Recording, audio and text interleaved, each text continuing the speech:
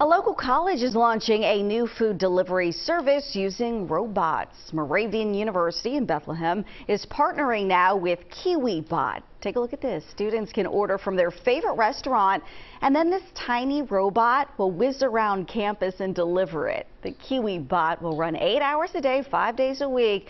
There will be 15 robots on campus.